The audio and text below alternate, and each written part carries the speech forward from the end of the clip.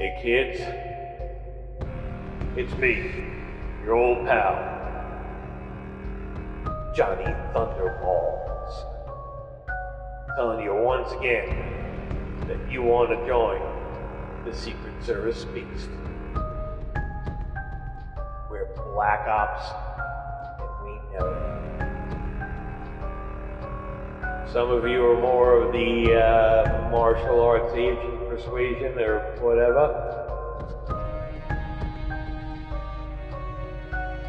Space nunchucks.